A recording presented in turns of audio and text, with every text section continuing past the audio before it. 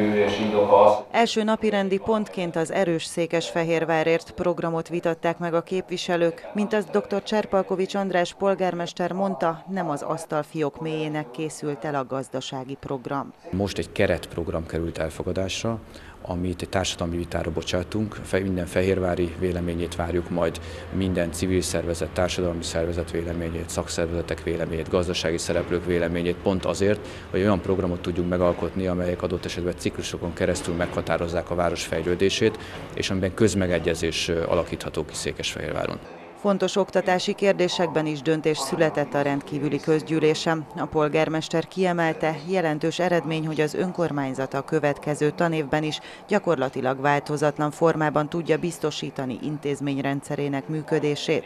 Egy hónapja foglalkoztatja a város közvéleményét a kérdés, hogy összevonják-e a Nemes Nagy Ágnes lánykollégiumot és a József Attila fiú kollégiumot.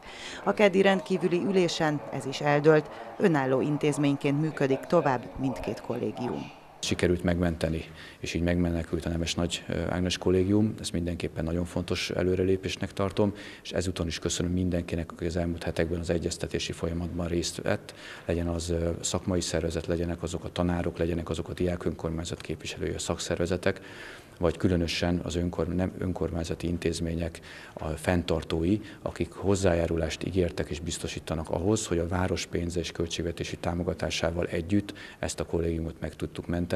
Mostantól egységes rendszer alapján történnek majd a városban a belterületbe vonások, erről is határozott a közgyűlés, valamint kiírták a közbeszerzési eljárást a főutca rekonstrukciójának munkálataira. Ennek befejezési határideje 2012. májusa.